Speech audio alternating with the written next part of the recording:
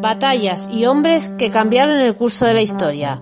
Esto y mucho más en Bellum Artis Historia Militar.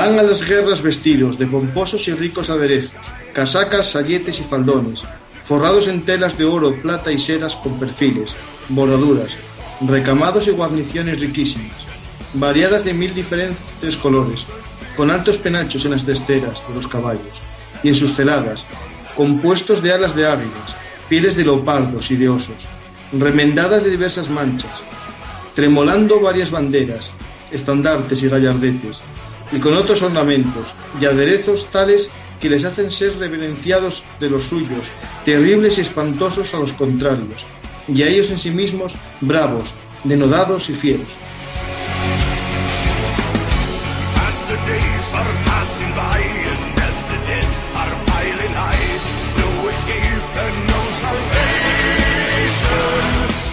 Hola, soy Francisco García Campa y estas son las historias habladas de Beirum Artes historiamilitar.blogspot.com, el lugar de encuentro para los apasionados de la historia militar. Hoy viajamos en el tiempo a la, Polan- a la Polonia y Lituania de los siglos XVI y XVII para conocer a los usares alados. En esta cabalgada contamos con la ayuda de nuestro maestro de armas, Juan Molina. Hola Juan, ¿qué tal? Buenas tardes, o noches o mañanas, según quien nos esté escuchando en qué. hora. Efectivamente.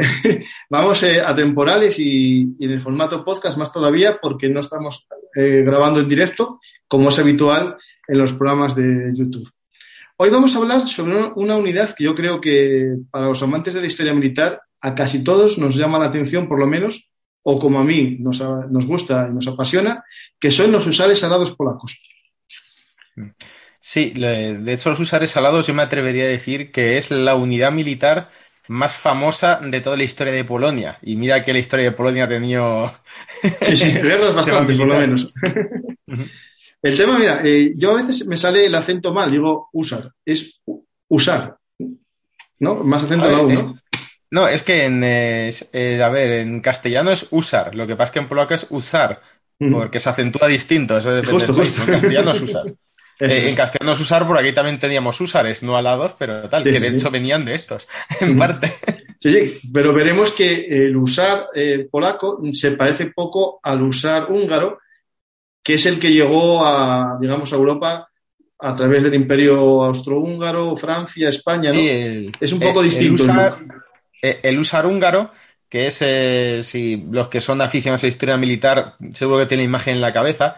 El usar húngaro es este que va eh, con una armadura ligera, con mucho una cota de malla, un casco si acaso, muchas veces ni eso. Sobre todo tiene un escudo mm, con, con una forma así un poco extraña, que no es rectangular del todo, que protege un- eh, el lado izquierdo y muy curvado que ese escudo se llama tabla china, lleva también una lanza ligera, varias armas, desde pistolas a mazas, a sables y demás. Mm. Y bueno, fue un tipo de caballería muy exitosa, pero una caballería entre ligera y media, tirando a ligera. ¿Qué ocurre? Que tuvo mucho éxito en muchas zonas, entonces se importó el concepto. Uno de estos donde se importó fue a Polonia. Y es que en Polonia, originalmente, estos húsares funcionaban igual que los húsares húngaros, es decir, eran una caballería media tirando a ligera. Lo que pasa es que, como explicaremos ahora, el, el- el conde de Bathory eh, fue el que hizo el cambio y los transformó en una unidad de caballería medio pesada. ¿Por qué digo medio pesada? Porque aunque era más bien pesada, pero tenían capacidad de hacer maniobras con los caballos y capacidad que tenían que eran de caballería media, más ligeros, ¿sabes? Mm. No, no te, yo iba a decir caballería ligera, pero podían hacer maniobras bastante bestias. Lo que pasa es que, claro, tenía un equipamiento eh, de caballería pesada y ese equipamiento afecta al caballo, no se puede mover de la misma manera que uno que lleva solo a un tío. Eh, iremos hablando claro, del concepto.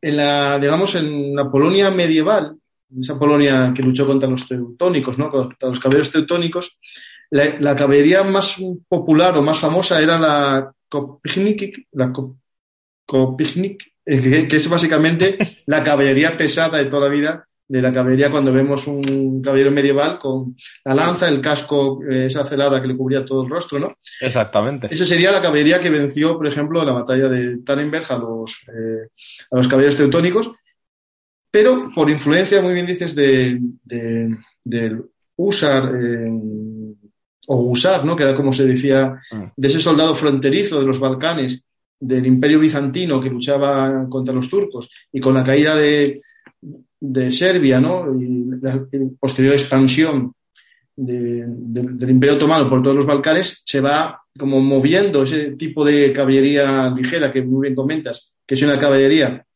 en la que parece ligera, pero realmente tiene alguna equipación un poco, poco pesada, ¿no? Como la cota de malla, ese elemento que a lo mejor no es típico de la caballería ligera, la meten como una especie de intermedio, como muy bien dices, de caballería medio pesada o medio ligera, ¿no? Es decir, lo vamos llevando a una caballería media que en Polonia yo creo que el momento esencial, ¿no? Para comprender esta, este cambio es la fusión, ¿no? De las dos repúblicas, la unión de las dos repúblicas de Letonia y Polonia, Lituania y Polonia, y la creación de, de un Estado en el que se van mezclando esos dos elementos de influencia germana, que sería, por ejemplo, por Lituania, y una influencia más eh, centroeuropea por Polonia.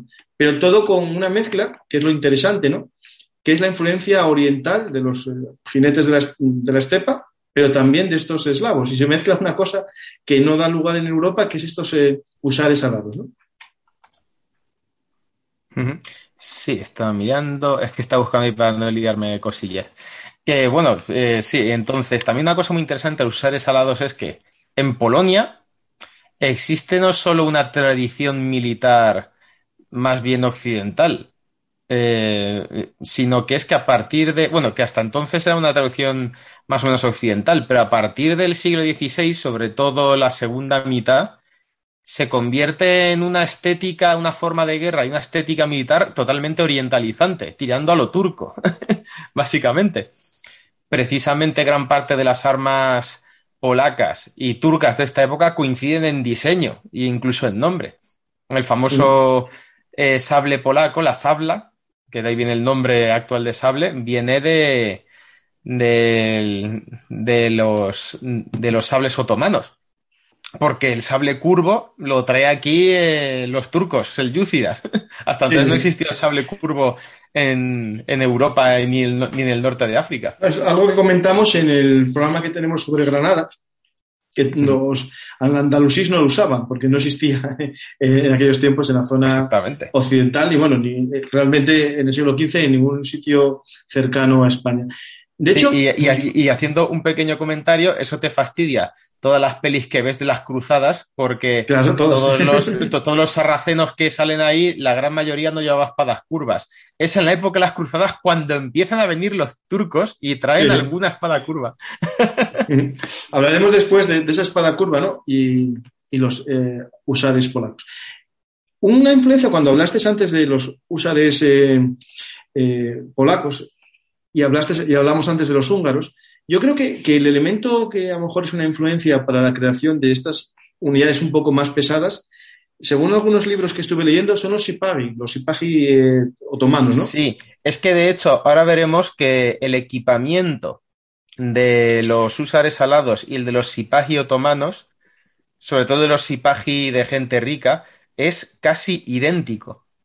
Mm. O sea, no igual, pero muy parecido ciertas armas que poca gente sabe que la usaban los turcos, la usaban los turcos y los húsares. Y tiene mucha influencia. Por ejemplo, el famoso Concersen, no sé exactamente cómo se pronuncia, que es este estoque de caballería enormemente largo.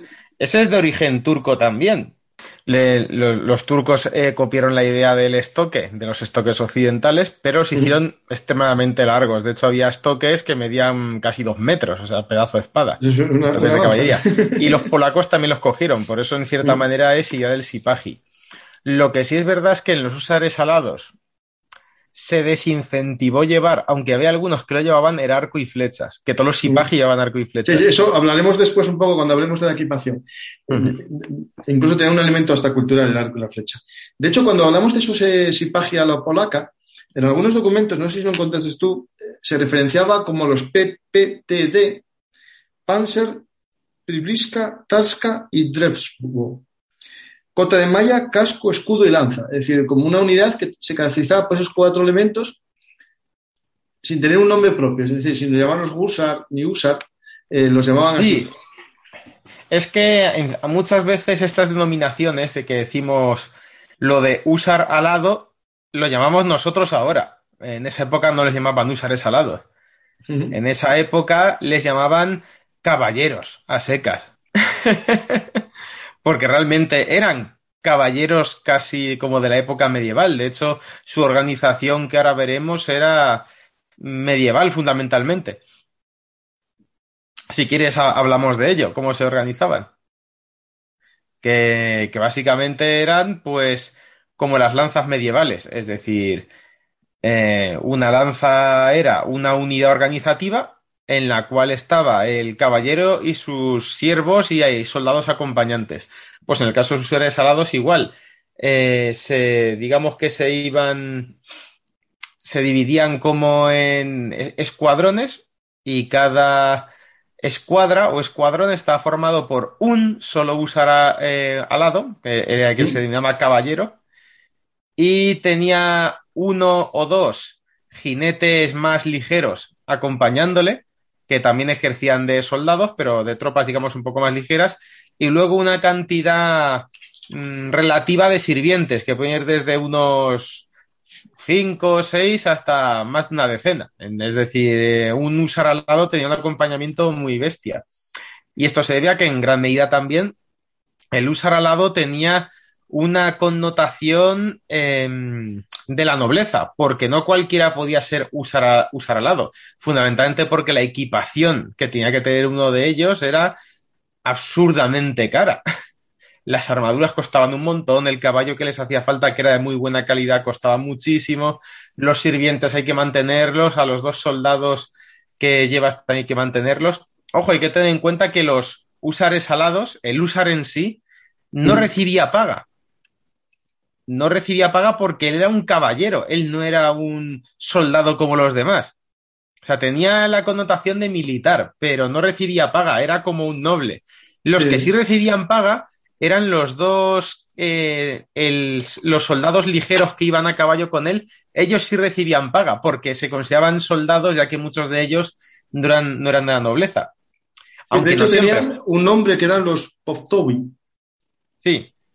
Eh, y de hecho, esos también se sabe que muchas veces eran eh, familia de, del propio Usar. Ya bueno, los hijos. Cogía, cogía al primo, al hermano, al tal, que a lo mejor tenía menos medios, o a lo mejor era muy joven y se lo llevaban allí como de escolta. Porque Mm. básicamente el objetivo de esos dos soldados, más que su uso en batalla, que también, era escoltar al, al caballero hasta el lugar de la batalla, sí. en gran medida. Claro, porque después una vez en la batalla, estas unidades, digamos, de, de- de ayudantes, ¿no? De auxiliares, eh, lo combatían, pero en la carga no iban pegados a los, a los usares que cargaban, digamos, en compañía de usares, que eso lo, lo veremos A- después. a- al- algunos sí, ¿eh? Porque, a ver, piensa que el- estos, e- estos escoltas estaban pagados por el, el propio, el propio Usar, el propio caballero. Ujú. Entonces, podía mm, darles una armadura de la leche y un caballo de... Ah, bueno, si van bien armados, sí. Eso, pero si no, no, de hecho sabe que algunos tal, porque encima, si es- imagínate que es tu primo o tu hermano pequeño, pues dices, venga, le voy a dar, no le voy a dar una, una mierda, mal dicho. Sí, sí. Pero también es verdad que solían estar en la segunda o tercera fila, en la Mm. carga, pero siempre cerca, siempre cerca de su señor, No, para ayudar. porque claro, era su escolta. Entonces Sí, es como, seguramente no van a haber mucha acción porque van detrás, pero van detrás por si acaso, que nunca se sabe. sí, sí. Después hablaremos de otra unidad que también tenía algo que ver con, con esa eh, caballería ligera, que Sí. hablaremos de ellos.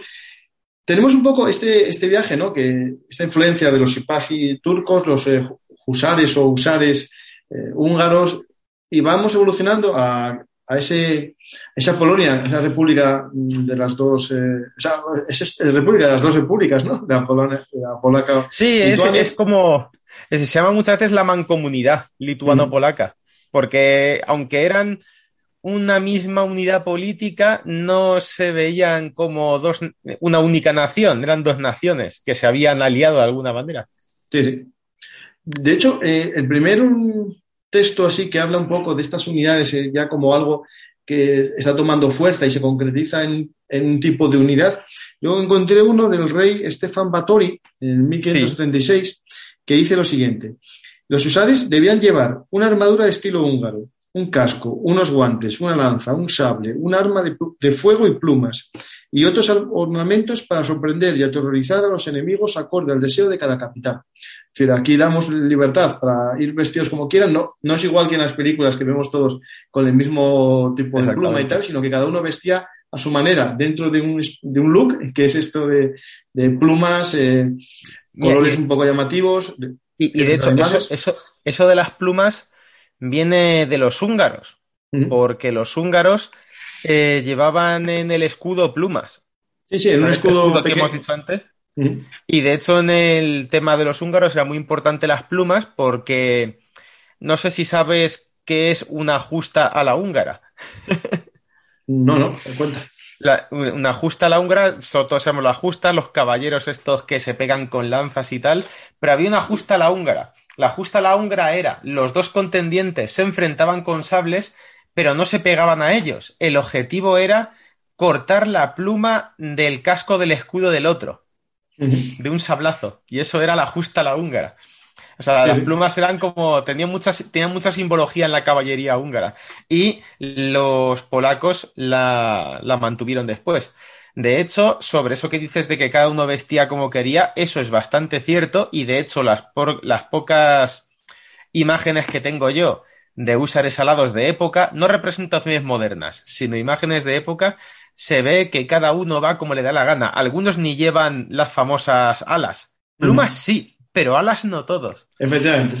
Y es algo que después de- hablaremos en profundidad cuando nos refiramos al tema un poco de las plumas y su valor o no eh, eh, real en el combate o, o- o no. Estamos viendo ¿no? que tenemos este, esta visión de lo que es un usar según el rey Stefan Batory y podemos ir, ir hablando ¿no? de cosas que ya estuvimos mencionando. Es decir, al final lo que hace esta unidad es más bien la equipación que tiene, ¿no? una equipación que, que se basa en unos elementos diferenciadores de otras unidades, por ejemplo, ligeras, que no suelen llevar cota de malla ni no suelen llevar coraza. En este caso, más coraza, porque la cota de malla la llevaban también, pero por encima una coraza, como ya veremos. Yo creo que, que si nos ponemos a, a describir un poco las armas, la primera arma, la más eh, característica, sería su lanza o copia, ¿no? La lanza copia. Sí, el copy. Pues es, la, la copia es una lanza bastante interesante porque se basa en los modelos occidentales, pero tiene muchas variaciones orientalistas. Eh, ¿qué era esta lanza? Pues era una lanza que medía entre 4 y 6 metros. Es una variable, una varianza muy larga, pero eso se debe a que es según el dinero que te querías gastar. Ojo, la lanza no la pagaba el caballero. Eh, Lo pagaba el rey, supuestamente. Exacto, eh, todas sus armas tenía que pagar el caballero menos la lanza, que no la pagaba el rey directamente. Digamos, el rey ponía el dinero, pero la compraba el capitán de cada compañía. O sea, que adelantaba el precio. Entonces, cuanto más cara... Entonces, en- entonces, muchas veces lo que hacen los capitanes es lo de siempre. Podría comprar estas lanzas de 6 metros, pero estas de 4 son mucho más baratas. Así que, Sí, sí. como me- así me, me sobra un poco de dinero y pues mira, para... En concepto de intereses, ¿sabes? No, pero ¿cómo se hacían estas lanzas? Que es muy interesante, porque Claro, esto que son sí huecas, que- eso que la gente lo sepa que eran huecas. Sí, sí. Pues eh, primero había unas pocas aldeas en Polonia que las fabricaban, que eran unos pueblos que se habían especializado en eso y el rey los tenía súper protegidos porque tenían la lanza esa como una especie de superarma y en cierta manera es una superarma, ya veremos por qué. Y eran huecas, completamente huecas. ¿Por qué tenían que ser huecas? Porque son tan largas que si no las ha- haces huecas pesaban un montón. Eh, pero claro, sabemos que, por ejemplo, había armas similares, lanzas de caballería similares en Occidente, que también las había de 4 metros, más largas no, es verdad, en Occidente más largas de 4 no se ven, pero las occidentales no eran huecas, ya, pero es que las occidentales les hacían una especie de rebabas o reducciones para quitarle el peso en lo posible. Los polacos lo que hicieron era mantener el diámetro total de la lanza, pero lo ahuecaban por dentro. ¿Cómo se puede ahuecar lanza por dentro? Cogían dos mitades de la lanza, la partían en dos y la vaciaban. Una vez que estaba vaciada, se pegaban las dos mitades y ya estaba hueca y cerrada. Pero mitades longitudinales o mitades, eh, o sea, hacen un corte, Mi- eh, por ejemplo, a los dos metros y vaciaban con un No, no, maniquí, eh, eh, a- o, en o longitudinal. tajada longitudinal. Vale, vale. tajada longitudinal, porque si no, no puedes llegar a huecar hasta el final de la Sí, sí, lanza sí. entera. Eran como dos mitades longitudinales, se ahuecaban y luego se pegaban con cola. ¿Eso que hacía? Que era un arma que tenía una potencia enorme, pero claro, era muy frágil. Al primer impacto se partía. Claro, Pero normalmente, pero normalmente eso bastaba. Yo oí que al primer impacto pa- partía, pero que hay demostraciones incluso, bueno, relatos de que Sí. atravesaba cinco y seis personas. Sí, a ver, eh, relatos hay de que atravesaban dos. Lo de cinco y seis personas son experimentos actuales Que ah, no bueno, vale, yo leí pero- en algún sitio que decía cinco o seis personas. Sí, pero en relatos sí que hay dos, porque claro, también en, en el este hay menos armadura y si atraviesas a un tío con una de estas lanzas que no lleva armadura ninguna, o sea, entra y sigue, eh, no se va a partir. Entonces es fácil que atravieses a dos, me atrevería incluso a tres. Más es difícil por una razón, el ángulo del arma. O sea, ya tienen que estar todos en No plan- hacia abajo, que es que el alma va inclinada hacia abajo. Exactamente. Sí. Pero dos sí que es fácil que atravieses si no llevan armadura. Tres, posible. Más de tres ya es No, me- suerte. y, y que, que estén en fila todos perfectamente. Es decir, es verdad que cuando Mm. atacas un muro de picas, más o menos están en filas, pero bueno, es complicado porque el que está más abajo, el que está en primera fila puede estar agachado y ya no perforarías al siguiente, eh, porque si- por es- ejemplo. es pura matemática. Es decir, si tú estás agachado en primera fila, el de atrás le darías en el pie. Mm. Algo que también. eh, y- y llama- luego, pero, y luego otra cosa interesante de la lanza es que todos la habéis visto, esa especie de bola que el tiene por el agarre. Esa bola tenía dos usos, porque tiene que ver con el sistema occidental de agarre, pero usar de una manera distinta. ¿Y por qué? La bola suele representarse mal. ¿Por qué digo que mal? Porque la suelen poner por delante de la mano como de protección de la mano. Y no era una protección de la mano, era un ¿Mm? contrapeso para manejar mejor Mm. la lanza. Entonces estaba detrás de la mano. Pero estaba detrás de la mano, pero por delante de la axila. ¿Para qué? Para hacer tope. Porque Vale. como estas armaduras no llevaban em, Ristre. como las armaduras occidentales, el tope lo hacía la bola al cerrar el brazo y entonces podías eh, enclavar al enemigo con mucha más fuerza. Me atrevería a decir que puede que fuera más efectivo que el ristre en sí mismo. El problema era que, claro, te exigía poner una pedazo bola de madera ahí que Sí, sí, sí. podía ser bastante incómodo. Y de hecho, después había otro elemento que parecía el efecto del ristre, que era, se llama la tuleja, que es una especie de, de- Bueno, se ponía al final de la lanza, agarraba Mm. una especie de cuerda, una, una Sí. tela, o, una tela como, como si fuese el. donde se- no sé cómo se llama eso, que donde se ponen las espadas, el. el bueno, El talí. el talí, eh, como un talí para poner la lanza y también sujetarla para que no se fuese hacia atrás y no cayese, ¿no? Es decir, eh, hacía el efecto del ristre, pero un poco distinto. Sí, pero digo, lo principal era la bola que se encajaba sí, sí. ahí. Luego también, todas las copy, las copias, eh, llevaban eh, una banderola de seda. Que tú dices, ah, toda es una banderola de seda, qué caro. Digo, bueno, es que todo lo que llevan estos hombres es caro, así que mira, una banderola de seda en la punta, pues poco más va a aumentar. Y grande, ¿eh? de más de un metro cada una de las banderolas. Sí, yo imagino que seguramente la, la, la bandera de la compañía, el guion de la compañía, sí que era más grande, que también iba en una copia. Eh, pero todas llevaban y lo que no he visto en ningún sitio es qué clase de elementos ponían, pero me atrevería a decir que eran elementos personales de cada que ponía cada caballero en su eh, en su banderola para decir que soy yo. Lo que sí que había es que estas banderolas estaban normalmente pintadas de rojo y blanco, azul y blanco, amarillo y negro o blanco y negro. Son las combinaciones normales. Y alguna que estoy viendo yo ahora mismo eh, tiene una cruz, por ejemplo, y dos espadas cruzadas, como si fuesen, digamos, una espada de San Andrés de, de- de espadas y encima una cruz. Y después lo que sí que leí, que cada compañía tenía un color de bandera, es decir, iban todos con el mismo color de bandera. Digamos, por Sí, eso, eh, eso tiene bastante sentido, eh, teniendo en cuenta la época, teniendo en cuenta que cada uno va a su bola, que al menos tengan alguna significación. Elemento unificador. Sí. Pues tenemos el- el- este copy, ¿no? Eh, que es el elemento más característico. Pero claro, como muy bien dices, al final de, de una bata- de- del primer envite se rompe este arma y entran otras armas secundarias. Podemos- y así, y así también podemos hablar un poco de cómo luchaban, porque no es como las películas que cargan, atraviesan a dos o tres con la lanza y luego se, se lían a sablazos metiéndose de lleno, tal. No, no. En el momento en que daban con la lanza, intentaban salir de ahí escopetados para cargar otra vez. sí, sí, sí. Lo que pasa es que, claro, normalmente ya no tienen lanza. Digo normalmente porque a veces sí que tenían, si las condiciones acompañaban y el capitán había comprado bastantes lanzas, tenían sirvientes que les traían lanzas nuevas, pero muchas veces eso no era posible por la batalla.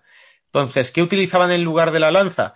Pues este, estas armas que hemos hablado antes, los concerns, que son estos estoques largos de casi dos metros, muchos más de dos metros, que se utilizaban como una especie de lanza de repuesto.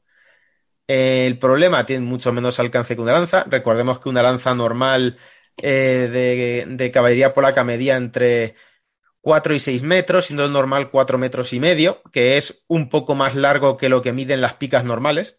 O sea, lo suficiente para que la pica no te pille. Pero ¿qué ocurre? Ahora vamos con el concern, que ya mide 2 metros. Entonces 2 metros ya es menos que el piquero. Entonces pues es un poco menos eficaz. Pero ya sí que va muy por delante de la cabeza del caballo, que eso es importante. Sí, claro, porque cuando estamos, el programa que tenemos eh, juntos en el canal de YouTube sobre caballería hispánica, hablamos un poco de todas estas eh, tácticas eh, y armas y hablábamos de que el estoque se usaba como segunda lanza y era casi la espada más habitual en caballería en estos momentos, la caballería, digamos, de este tipo pesada, ¿no? Sí, en la pesada sí, porque claro, piensa, eh, es- estas personas cargaban los caballeros de los usares polacos, pero también la caballería pesada occidental cargaban rodilla con rodilla, es decir, el jinete, tú estás montado a caballo y estás tocando con tu rodilla la rodilla del jinete de al lado. Entonces no tienes espacio para mover el arma. Como no tienes espacio para mover el arma, necesitas una de punta que llegue muy lejos. Entonces, claro, pues acabas haciendo un estoque que luego el estoque polaco ya es una exageración de largo, porque es literalmente una espada lanza, ya de Sí, por sí. después tenían, aparte de este, de este tenían otra, a veces, eh, otra arma que era también de estilo un poco de estoque, que es el Palance. Sí, el palance es, no es tanto estoque, aunque estoca obviamente, pero hay que verlo como una espada recta ancha, porque digamos, no sé si eh, también conocéis temas de caballería de otras épocas, pero la caballería pesada del siglo XVIII llevaba espada ancha recta. Y eso se debe a que el sable curvo, que ahora lo veremos también, es muy efectivo como usado por la caballería ligera porque das, digamos, grandes tajos alrededor. ¿Qué ocurre? Que si no tienes espacio para dar tajos alrededor porque estás cargando con muchos compañeros cerca que les vas a dar, pues necesitas un arma más recta. Entonces muchos, en lugar de llevar el típico sabla polaco, llevaban el palas. Eso no significa que los húsares alados no llevasen sabla. Llevaban la mayoría, diría yo. Lo que pasa es que lo llevaban porque si van a usar la sabla es porque ya no están en formación. no sé si me explico. Y, y una cosa, hablando sobre el tema este que, que estás comentando de, de las tres es- tipos de espada, ¿podría ser posible? que- es que en algunos sitios ponen que llevaban dos de ellas, ¿no? Es decir, que llevaban el sablas y una de las otras dos, ¿no? Yo sí, lo que estoy leyendo es que, por ejemplo, el, el sable, el estoque largo, el, el, el cambars, el conser, lo llevaban en la silla del caballo. Mientras Sí. que el sables lo, lo llevaban en, en, digamos, ellos en, en- en su cuerpo. En efecto. Que, que de hecho lo llevaban en la silla, como es tan largo, no llevaban el concerns, digamos, como una espada normal en vertical, la llevaban en horizontal. Porque si no, no cabía. No, no, si no daba, el caballo tiene que ser muy alto eso, para evitar que Y, llegase al suelo. y lo, y lo que no sé es ¿cómo puñetas harían para desenvainarla? Porque el, el conserv más pequeño medía metro y medio. Sí, sí. Entonces desenvainarlo tiene que ser complicado, pero tendrían su método. Y lo que yo imagino es que el que llevase el palas, el que hemos visto ahora, la espada recta, no iba a llevar sabla, porque digamos que si tienes uno no necesitas el otro. Pero sí que era más común la sabla, que es la que si quieres podemos hablar ahora. Sí, sí. Eh, la sabla, que de ahí viene la ¿El palabra sable? actual de sable, es, como su nombre indica, un sable bastante ligero, aunque al principio se creía que podía ser bastante pesado por cosas de recreación y tal, pero no, era un sable bastante ligero, muy peligroso, cortaba muchísimo, muy curvo, y entonces es un arma perfecta para atacar a caballo, sobre todo cuando montas a la ligera, como he dicho, porque el- al utilizarlo generas grandes arcos a tu alrededor que te protegen a la vez que atacas, y tiene un equilibrio muy pensado para eso y que además su uso a pie, porque se podía usar a pie, la sabla, aunque era muy de caballería, tiene un uso de esgrima muy raro que no tiene nada que ver con ninguna otra espada del mundo. Algo que, que me llama la atención de esta, de este sabla es que tiene una, una especie de anillo en la parte de la cruz, justo en la parte de la Sí. cruz, para meter como el dedo gordo, que Sí, es para facilitar el juego, ¿no? Y está No. protegido. No, eso es una herencia eh, otomana. Y me dirás, ¿qué tiene que ver la herencia otomana por eso? Pues muy sencillo. eh, es una cosa bastante ingeniosa. ¿Qué eran sobre todo los otomanos? Arqueros a caballo. Lo que hacían era, en la mano de la espada la llevaban colgando del pulgar de eso mientras tiraban flechas. Ah, vale, momento un soporte para que anduviese por ahí suelta entonces- la. Entonces, cuando tire una flecha, está, está eso pensado para, yo disparo una flecha a metro y medio del enemigo y si fallo, ya tengo la espada en la mano. Solo tengo que hacer un giro con la muñeca así y Sí, cojo sí, ya sí, la espada del mango y puedo luchar. A eso lo pones en una película y sería 100% postureo. Todo el mundo pensaría que es un invento, pero la verdad Bueno. que tiene su lógica. Y claro, también como ahora hablaremos, aunque no usaban mucho el arco, tiene sentido que tengan eso porque lo tenían por tradición y nunca Sí, se sabe. Lo mismo un día en una... Porque eh, los, los caballeros, los usares alados, no iban equipados así, salvo en batalla grande. Si les tocaba una escaramuza o algo así, pues a lo mejor es posible que incluso llevaran un arco. Entonces ahí sí que les conviene más. Eh, no, y de hecho, bueno, podemos adelantar un poco. Hay un arma que quería hablar antes, pero bueno, el arco en Polonia, eh, pese a que se iba desapareciendo, ¿no? Por la aparición de las armas de fuego, el arco tenía cierto valor eh, de noble, ¿no? Es decir, era como el arma de los nobles. El Eh, arma- realmente era, era el arma de los soldados, porque Mm. el que era noble podía ir con espada, pero solo el soldado podía ir con espada y arco. Sí, Es claro, decir, si eres noble pero no eres soldado, no puedes llevar el arco, solo la espada. Eh, o sea, que era un símbolo de estatus y al final siguieron con él más tiempo de lo que hubiese sido normal por ese, digamos, apego, ¿no? Apego- Sí, lo, lo- Bueno. lo que pasa es que los, los soldados polacos, curiosamente, llevaban el arco con flechas de civil. Porque, a ver, esto puede que no lo sepáis, pero los arcos occidentales siempre se iban en la mano. Pero Mm. los arcos orientales, como el que usan los polacos, que es básicamente un arco turco, pues los arcos turcos se llevan en una funda al lado. Sí, O sea, en el lado derecho llevas el sable y en el lado izquierdo normalmente llevas el arco metido en una funda con flechas. Y lo llevaban así mm, como arma de autodefensa, pero también para fardar de que uno es soldado, que no Sí. es... Es decir, mira, llevo arco y flechas porque he ido a la guerra, no como ese otro noble de allí que es más mariquita y no Sí, se atreve a Otra arma también eh, esencial, ¿no? Que, que al final es, es muy habitual en la caballería. Son lo, lo que se llaman, bueno, martillos y mazas y Sí. picos. Eh, ellos se llamaban obuch y nazjak y tenían Sí, varios porque- modelos de ellos, ¿no? Sí, es que además los martillos de guerra polacos no son como los del resto de Europa, son muy característicos. Y de hecho tienen el, el obuz en sí, es un modelo que está pensado, o sea, tú fíjate, está pensado para que te sirva de bastón cuando lo usas de arma. Entonces, eh, llegó a ser un símbolo de mando, el, el obuz. Es decir, tú puedes llevar un martillo de guerra normal, pero si llevas un obuz, eres un mando. ¿Y qué es lo que principio- característico al obuch? ¿La forma que tenía el pico o el largo del- Exactamente, porque es como un martillo que tiene como un pico muy, muy alargado que el único objetivo de ese pico tan alargado es hacer de reposo de bastón. Sí, es que pasa un bastón decir, realmente, sí, sí. Es que es un bastón, es un bastón martillo. Entonces, cuando estás en el caballo, lo llevas con un bastón. Y si te atacan, le revientas la cabeza al otro, porque Bueno, es un martillo. Se me está viniendo la imagen de la gente que, que todavía te da el palo con un bastón por ahí. Eh, Entonces, pero también hecho, pero, pero viéndolo, eh, incluso en algunos modelos de este, de este Butch, está demasiado cerrado lo que es el bastón. Es decir, lo que es el, el bastón El para, dar, sí. para dar un enemigo es bastante complicado. Hay que darle con un giro. Claro, como- porque, po- porque a ver, tú, tú piensas que lo que está eso cerrado es el mango de agarrarse, con lo que le das Ah, es no con es, el no- otro no lado es la parte de golpeo, la parte de golpeo es la más pequeña, vale, vale, vale, Exacto. vale, vale. Es la Lo- parte lo del otro- martillo, no del pico, vale, Sí. vale, vale. Es que en origen la parte del pico era un pico, pero como Mm. se usó cada vez más como símbolo de mando, es decir, como bastón, pues se hizo para que fuera un bastón más cómodo de portar como bastón, y por eso hace la curva. Vale, vale, ya decía yo, porque ese Modas. pico no, no tenía sentido ninguno, o sea, no- es que es imposible darle casi. Entonces le das con el martillo, que es muy pequeño, pero vale, vale, perfecto. Eh, Ah. eh, con- aunque sea muy pequeño, te dan con eso y, y mueres. Es decir, Sí, sí, sí. eh, un martillo, a pesar de la creencia popular, un martillo de guerra no pesa. De hecho, un martillo de guerra es mucho más ligero que una espada.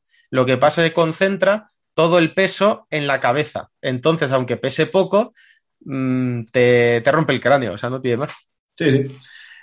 Y después está, bueno, otro que es el, el, que es, es más, bueno, más parecido, pero el pico es más eh, horizontal y ya es más normal ya Porque el. Natjack, el ya es práctico. Ese sí que es para usar a caballo como arma. El que hemos visto antes eh, se usa como símbolo de estatus. Soy un oficial, soy alguien no sé qué. Siempre hay un arma de estatus. Por ejemplo, el arma de estatus más importante de Polonia, que era la que llevaban los generales, los coroneles y demás, era el Bogdodan, que es la maza la, la maza, una maza de aletas era el estatus de general o de jefe de un escuadrón grande de caballería. Entonces sabías quién era el jefe porque iba a llevar una maza. Sí, sí, sí. Que eso es muy típico en general, eso no solo de los polacos, también ocurre con los tártaros, ocurre con los cosacos, ocurre con los húngaros. El jefe es el que lleva la maza. De- pues tenemos otros tipos de martillos, y no, más bien de mazas, que es el Piesnask, una maza de cabeza esférica, el Navjak, que es el, el- uno de los distintivos de mando que estás comentando, y después hay uno que es eh, el Bus. Es que esto del polaco es Sí, el, el, el- el Bogdodán, el que estaba diciendo. Que eso, es el justo, de- sí, sí, eso, el, justo. es de aletas. Que Ah, el de aletas, aletas- justo. Es que habías dicho como de aletas, justo. Sí. Eso es importante. El es es el de aletas. También es verdad, como símbolo de mando, muchas veces se usaba el liso, porque también depende de las modas de cada época, lo de tal. Mm. Eh, el liso eh, proviene de los turcos. O sea, literalmente la maza lisa es un arma turca que se han apropiado. Y la de aletas, aunque también usaban los turcos, es, parece ser que es más occidental. O sea, según el gusto de cada uno. Sí. Pues tenemos ya un poco lo que es la- la- el armamento ofensivo. Bueno, fa- falta uno, No uno muy importante que Las suele pistolas. pasar por alto, Sí, que son las pistolas. Sí, sí, cierto. Eh, normalmente se dice que las pistolas no tienen utilidad y todo eso para los usares, y sí tienen una utilidad. Vamos a ver. En un campo de batalla normal, no, seguramente no lo van a usar nunca. Pero entonces, ¿para qué llevaban la pistola? La pistola era tu arma de reserva. No es un arma que vas a usar para atacar al enemigo, es un arma que vas a usar cuando te ataca el enemigo a ti. Me explico. Has perdido la lanza. Eh, por ejemplo, tienes que retirarte y mientras te retiras, te persigue un enemigo a caballo. Pues tú sacas la pistola, la pasas por debajo de la axila izquierda, cogiéndolo con la mano derecha y disparas al que te persigue. Eso se hacía un montón. Ajá. Y O de sea, hecho, era como- sí, sí. Sí, La- las pistolas se llevaban las dos en el lado izquierdo, que es algo que me llama la atención, para evitar que, molestasen a la lanza. Sí, y también porque las la- cogían las pistolas como si desenvaina una espada. Entonces la espada está en la de izquierda. Entonces lo coges, sacas y está para disparar. Pero como digo, la pistola no era en este caso un arma ofensiva como en los Rey 3, que para los Rey 3 era su principal arma ofensiva. Eh, para ellos era un arma de último recurso, en plan, leches, me ataca uno de repente, saco la pistola y se la descerrajo en la cara cuando se acerca. sí. Sí, sí. Entonces por eso la usaban muy poco. No, es que a ver, con todo el arsenal que tiene de armas, porque si, si, si lleva eh, la- el copy lleva el estoque, y lleva el sable, y lleva dos pistolas, y en algún caso puede llevar por ahí dando vueltas el martillo, la verdad que los caballos tienen que ser muy potentes. Y no estamos hablando tampoco de caballos de carga pesada, sino caballos que también eran maniobrables y, y bastante Eran muy rápidos. ágiles. Mm. Eh, y además muy caros. Que además, como decía ahí, que un, un artículo muy bueno de, de la revista Despertaferro que sale ahí, eh, el articulista decía que ha- hacían ciertas maniobras como una que es el caballo a toda velocidad se metía en un círculo en el suelo de dos metros de diámetro y dentro del círculo, sin disminuir la velocidad, daban la vuelta. Eso no lo hace cualquier caballo. Mm. Claro, y ese, y ese- ese ejercicio para qué es, por cierto, ¿para qué me sirve entrenar a un caballo para que a toda velocidad entre en un círculo dos metros y se dé la vuelta? Pues así es como cargaban con la lanza. Mm. Cargan con la lanza. En el momento en que choco contra enemigo, le doy, le doy al caballo para que gire completamente y nos largamos de ahí. Sí, de hecho, eh, para llegar a esa zona había un sendero, eh, como una línea, un sendero estrecho, y cuando llegaban a ese giro, daban el giro, que básicamente ese sendero sería un simulacro de después avanzar en formación en línea recta Claro. con otros caballos, uno al otro. Cla- Claro, porque es un, un sendero estrecho, no dejas espacio al caballo. Ahí se acostumbra a correr muy rápido sin tener sitio, que es lo que va a ocurrir cuando cargue con el resto de caballería. Sí, sí. De hecho, cuando estamos habla- hablando de caballos caros, para que nos hagamos una idea, yo tengo aquí unos precios que son 500 slotis el caballo y una armadura de alta calidad entre 100 y 200. Sí, sí, sí. Y ojo, Eh, una de 200, una de 200 pa- paraba un tiro de mosquete, o sea, es de las buenas, y estaría Sí, sí, sí. adornada con todo. Sí, sí. Que viendo los adornos en muchas de las eh, recreaciones y imágenes que se ven, eh, eh, se suele poner una cruz y también alguna imagen de la Virgen. Me imagino que la Chestokova en gran parte de los casos, pero que suele ser los adornos que tienen estas armaduras de, de rosario. Sí, y luego también es muy importante para la- los adornos que tenían eh, distintos tipos de sayos y capas, como la descripción que ha salido Mm. al principio.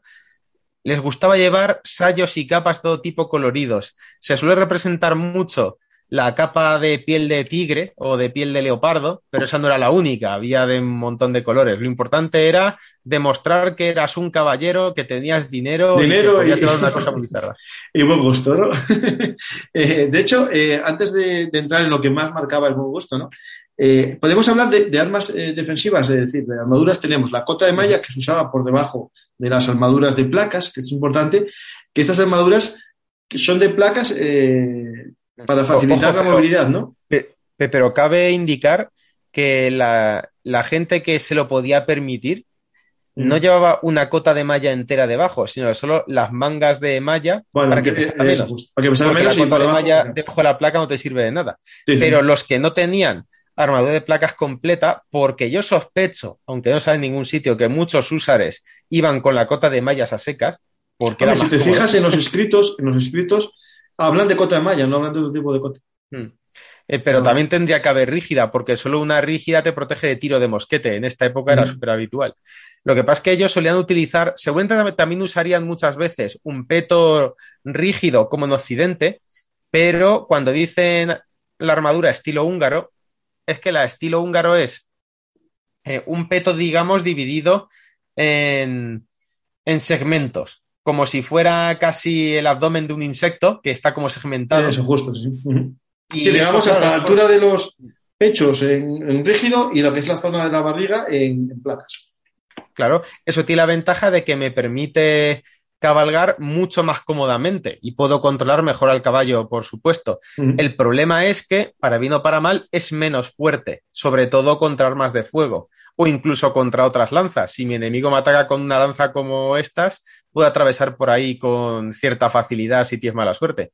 También es verdad que ellos no usaban escudos cuando iban como caballero en batalla con el copy y tal, pero sí que usaban mucho el calcán, que el calcán era una especie de broquel gigante, también de origen turco, que se hacía de, de- de textil de textil vegetal, es decir, era como un broquel muy grande que como estaba hecho de, de hierbas trenzadas, a lo mejor, eh, eh, y no me viene ahora, esparto, cosas así, ¿vale?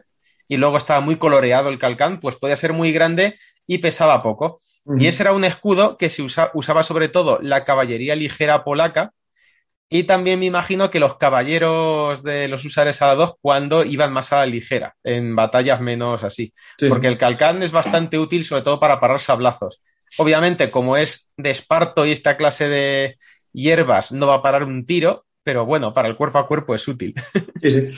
Después tenemos otro elemento que también es característico cuando vemos un usar alado, que es el, el- el casco, ¿no? El casco eh, con esa, bueno, cierta eh, cubrinucas de placas también, pero yo creo que los elementos más diferenciadores del casco es el, el, cubrenasal, ¿no? Que tiene una forma cas- casi de- como de hoja.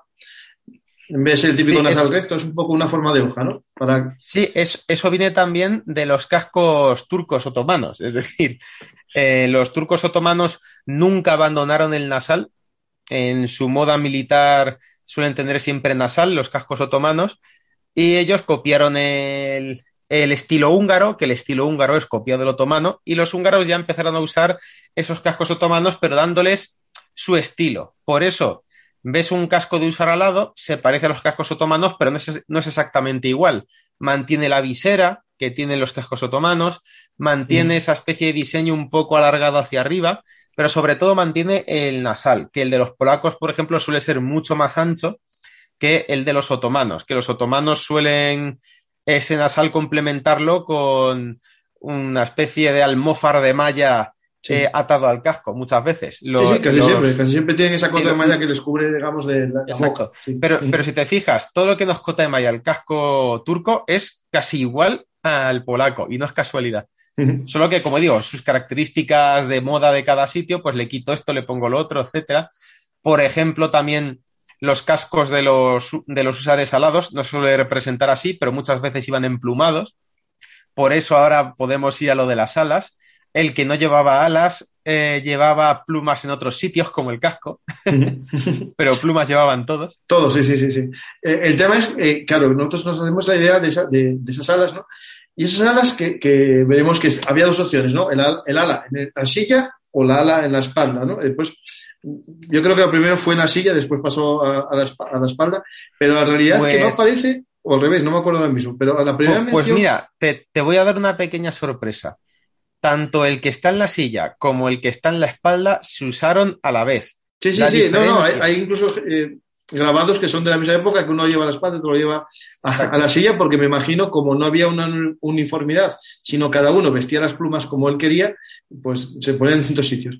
Pero la primera vez que se hace referencia, o el primer grabado que tenemos constancia, es uno de 1635, en el que aparece el coronel Krzysztof Skłodrowski, en una visita que hizo a París, que le hacen un grabado y aparece con eh, vestido, digamos, a la, a la turca, ¿no? Con un poco de ropa así muy amplia y aparece con esas alas puestas en la espalda. Y otro grabado que hay de esa época un poco posterior es en la silla, lo que tú dices, están mezclados. Sí, pues, pero y está ahí la, el entredicho que algunos dicen que se usaban en batalla, otros que no se usaban en batalla, que son en Cierto. desfiles. Personalmente, yo creo, por lo que he visto, porque he visto grabados de época donde Sí. salen en batalla usándolo, pero en los grabados donde sale usándolo en batalla, no los usan todos, los usan unos pocos. Es decir, eso entramos ahí en, en lo de cada uno se pone lo que le da la gana. Sí, claro, claro, porque, a ver, la, la teoría, ¿no? El origen ¿no? teórico de esas alas, eh, unos dicen que era psicológico, ¿no? Porque eh, se movían y hacían un ruido extraño que asustaba a los caballos, ¿no? Otros, eh, eh, en el discurso que leí inicial, ¿no? Al comienzo del programa, también era para subirse la moral a ellos mismos, ¿no? Mira qué chulo soy yo que voy con estas plumas a la guerra, ¿no? Y también Era para otros, chulearse. Claro, y otro psicológico se pone, joder, ese tío que viene a matarme, ¿cuánto dinero tiene, no? Para comprarse todas esas plumas de águila, ¿no? Si todo va A ver, eh, eh, en un es- eh, y, y yo lo digo muchas veces, tú ves a un grupo de con 50 tíos cargando con caballos con unas lanzas llenas de esos esos eh, eh, esos guiones de seda Mm. largos que van ondeando al viento, bien a toda leche hacia ti, armados de arriba abajo con un montón de colores y plumas ahí. Yo digo, mira, quédate tú aquí que yo me largo. O sea, es- Es cierto. Es, es que tú piensas la imagen. Y además que te digo, en las imágenes que han quedado de época, Mm. salen que en, en batalla me refiero, porque en desfiles sí que salen siempre. Sí. Porque dale, también es que las plumas eran de águila y eso es caro. Entonces muchos dirían, mira, en batalla esto me lo dejo porque vale dinero, ¿sabes? Que de un sablazo me lo parten. Pero eh, cuando salen en batalla salen algunos y otros no. De hecho, mira, ahora mismo tengo delante de mí, que Mira. si quieres luego te lo paso. Mira, de hecho, tengo una un- cosa, mira, tengo una cosa, ¿eh? Hablando de lo de caro.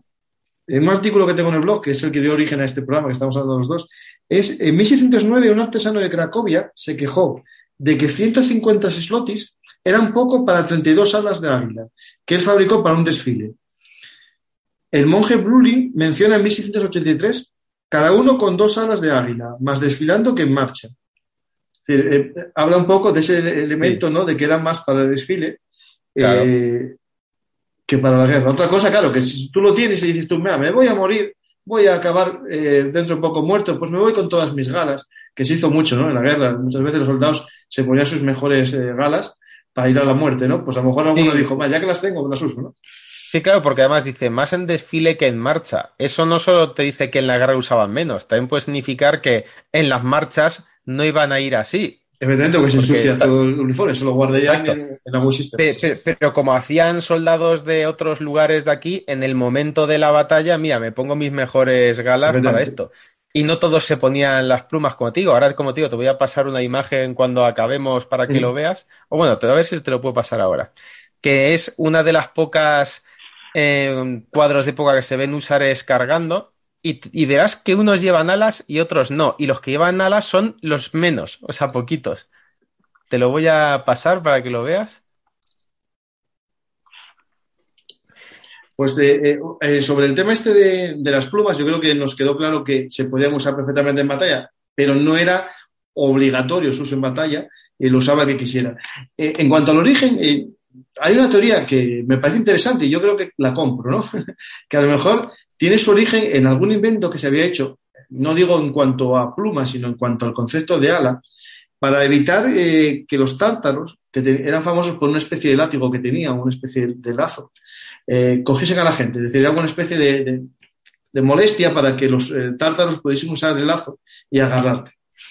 Sí, es una teoría, pero eh, yo creo que eso es una excusa para justificarlo, porque si lo piensas bien, si eso de verdad es para eso, ¿por qué no lo usaba todo el mundo? Y en lugar de plumas no usas algo más barato.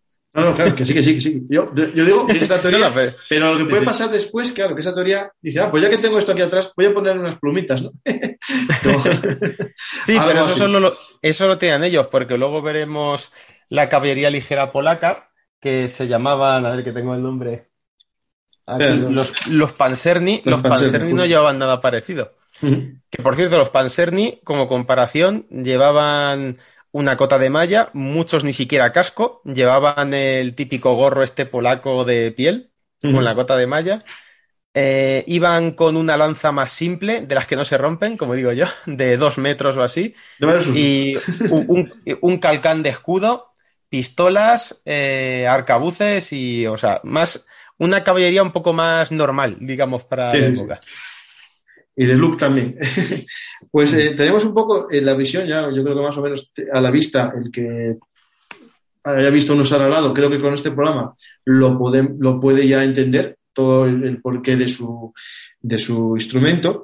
Y ahora podemos hablar un poco de la forma de, de- de- de combatir. Es decir, yo tengo un poco los, bueno, la organización y tengo aquí unas voces de mando que las saqué del de blog eh, El Amo del Castillo, eh, Castra en Suitania, que me deja a veces usar sus artículos. Y es interesante, uno es que voy a decir, lo voy a decir en polaco, ¿no? Pero que me perdone la familia que- política polaca, que si lo oye sabe quién son. Usisci sie silencio. Smiliście colano et socolanen. Apretad filas ro- rodilla contra rodilla. Esto es importante, esto que acabo de decir ahora. Sable na temblaki. Afianzad los sables. Esto de afianzar el sable tiene que ver con, digamos, eh, eh, asegurarlo a la muñeca una cuerda que tenía el sable o algo así para que no cayese. Sable r- recu. Desenvainen sables. Daleg. En marcha. Después de esta instrucción en polaco, vamos a entender un poco cómo sería la organización, ¿no? Está formado por compañías y escuadras. Pero mira, eso que, que hablabas de pasar el fiador por la muñeca, sable Naten Blackie, Mm. ¿Tendrá que ver eso con lo que te he dicho del dedo pulgar?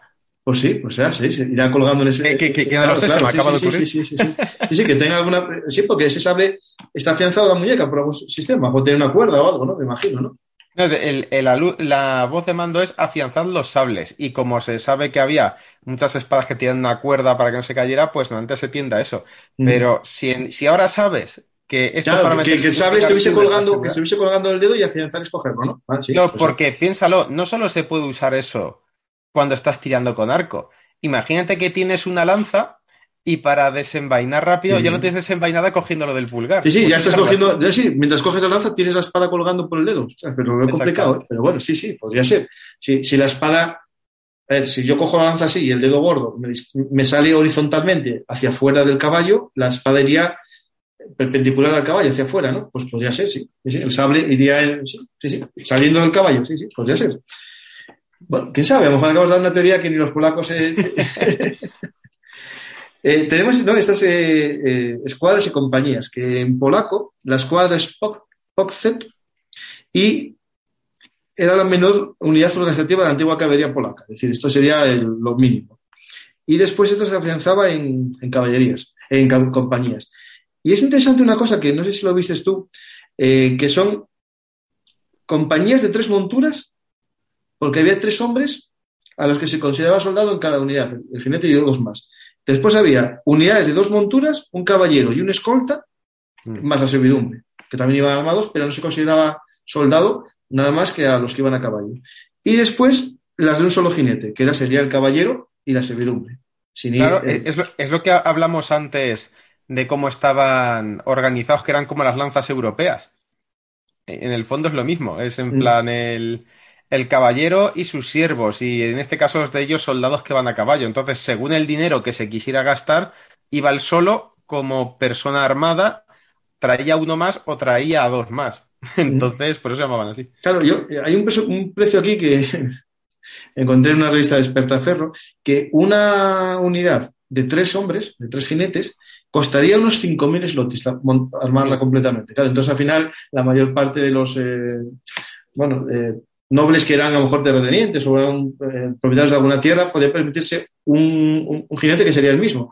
Yo, eh, leyendo la trilogía de, de Sienkiewicz, el que hizo Ben-Hur, que tiene una trilogía sobre, de- sobre un caballero, un húsar al lado polaco en las guerras de, eh, contra, primero contra los cosacos ucranianos y después contra los turcos, eh, y, y habla incluso de la de Viena.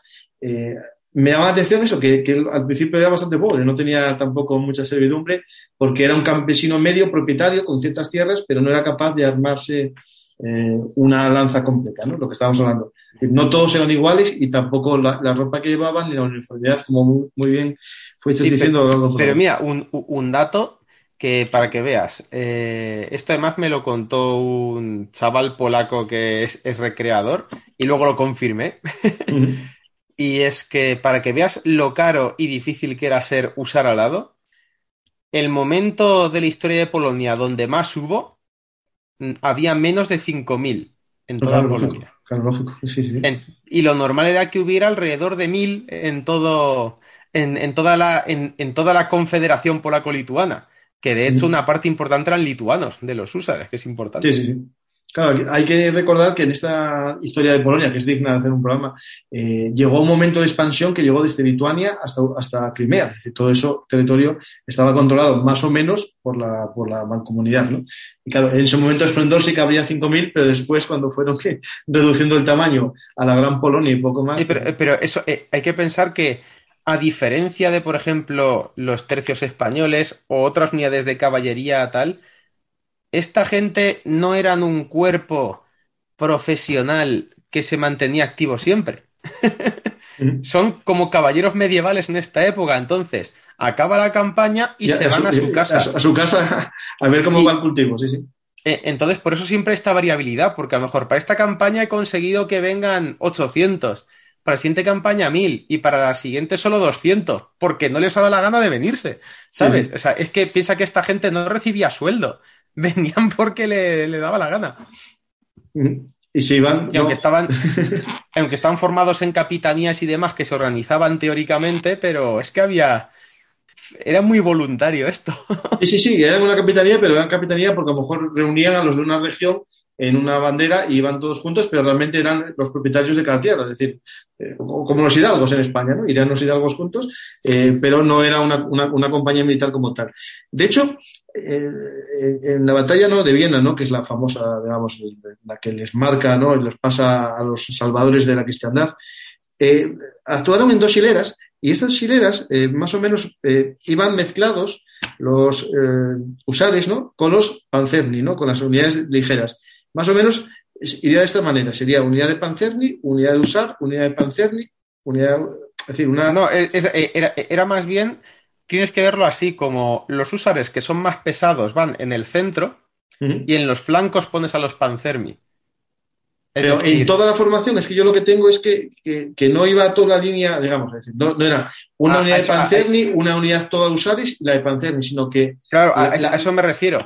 Pero que digamos que era eh, Panzermi, Usar, Panzermi, Panzermi. eso, eso, Usar, justo, eso, eso, eso, eso, eso. Sí, sí, sí, PHP, PHP, PHP. Sí, y y que- detrás, que en la eso- segunda línea, en la segunda línea, Exacto, que, que digamos que a lo mejor cada una de esas unidades de ataque era a nivel compañía. A lo mejor ahí entre Usares y Panzermi no había más de 200 o 300 tíos.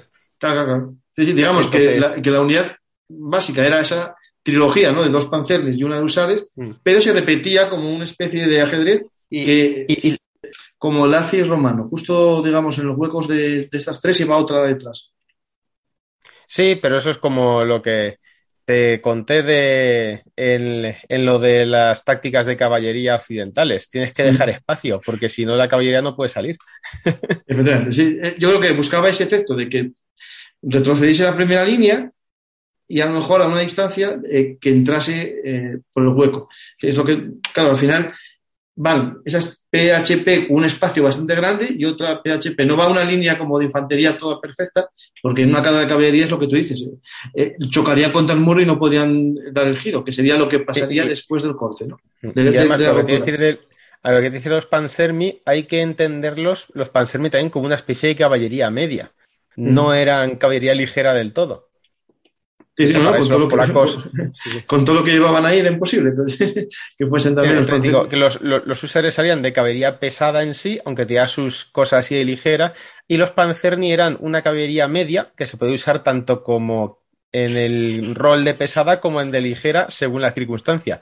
Por eso iban a los flancos, porque tenían un poco más de movilidad y podían, digamos, proteger el flanco vulnerable de los húsares, que era su parte, como siempre, las tropas pesadas suelen ser muy vulnerables en los flancos. Sí, sí. Por eso estaban los Panzerni para cubrir los flancos. Pues más o menos yo creo que vimos el- lo que era una unidad, ¿no? De us- usar salado, su evolución, sus arma- armas, su forma de combate, vinculada siempre a estas también de- a estas unidades de Panzerni, que les cubrían los flancos y ayudaban en la carga. Y yo creo que algo que les caracterizaba, al igual que a lo mejor a órdenes, por ejemplo, en, en Europa, las órdenes militares, es algo que tú comentabas, la dificultad de, ca- de cargar en forma compacta, rodilla con rodilla, ¿no? El lomo del caballo con lomo del caballo. Y en la imagen que me pasaste, sí que se ve claramente esa, esa forma de combate. Efectivamente. Están que casi parecen una masa, que no se distingue uno de otro. Sí, sí, efectivamente, sí, sí, van, van todos ahí. Eh, pues nada, yo creo que, Juan, eh, la idea era un programa corto, ¿no? Una especie de visión. El que quiera conocer más, eh, eh, hay muchos eh, libros en inglés, en castellano y poco, la realidad sobre los usares salados. Por lo tanto, yo creo que, que este programa puede ser un referente para el que quiera conocer los usares salados. Otro día podremos hablar de, incluso con el amigo polaco tuyo, si habla español o no habla español, Ricardo es polaco. Un Es poco. polaco, polaco. Un poco.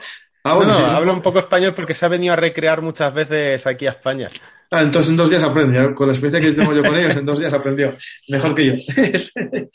pues, eh, Juan, muchas gracias eh, por el programa. Yo creo que estas historias cortas, así de rápidas, tuyas y mías, pueden quedar algunos cortos, pero yo creo que la idea era mm, dar pinceladas. ¿Piensa alguna unidad que podemos hablar de ella eh, más adelante? A lo mejor, mira, me, Pues- me estás poniendo largo con los pues- otomanos, que se sabe poco. Pues mira, eh, te voy a dar una que se habla mucho y pocas veces se habla de lo que era de verdad, porque también es como digo mi otra gran pasión de época, que son los ninjas. ¿Qué puñetas eran de verdad? Pues eso, ahí está, vale. De eso te puedo los hablar. ninjas, ¿qué puñetas son? Pues ya está. Perfecto. Y además que yo sé algo de, de tu vida íntima y sabes algo de eso. Mm. Pues eh, no de puñetas, ¿eh? Los ninjas. Sí.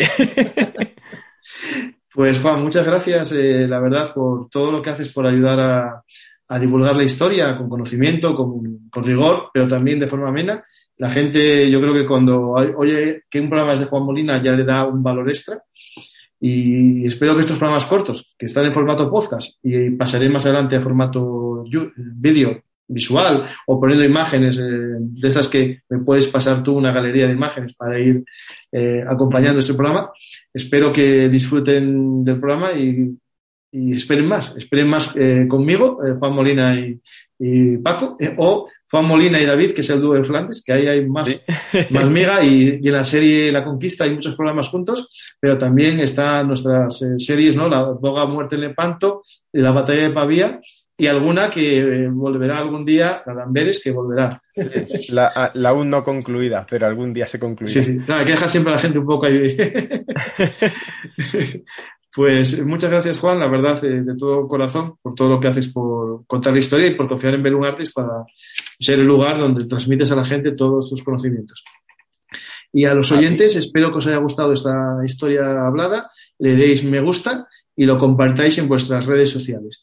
Y también que sepáis que Belun Artis está aquí para contaros historias y espero que os siga gustando durante mucho tiempo el trabajo eh, que estamos haciendo para dar a conocer la historia militar de España y de todos los lugares del mundo, como esta vez dimos a conocer la historia de los usares polacos. Muchas gracias a todos y hasta la próxima historia. Hasta luego.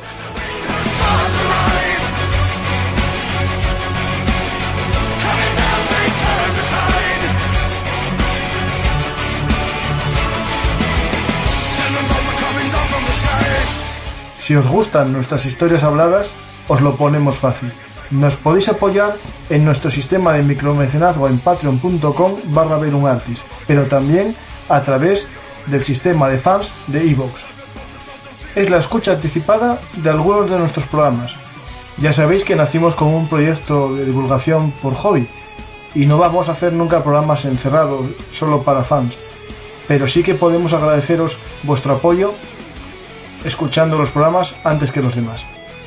Muchas gracias a todos y os invito a compartir nuestros programas para que lleguen a más gente.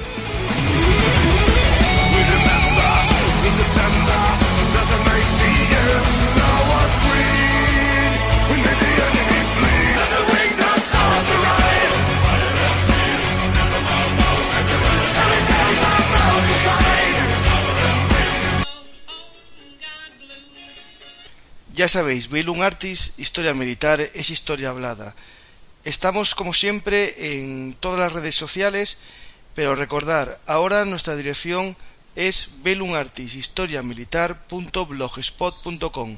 No os olvidéis, Belum Artis es el blog de la historia militar. Muchas gracias.